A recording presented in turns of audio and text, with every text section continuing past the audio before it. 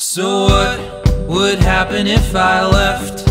Would we both forget in time and move on with our own lives? I've been wishing I could see where every path would lead me to so I could make the right moves cause I can't get high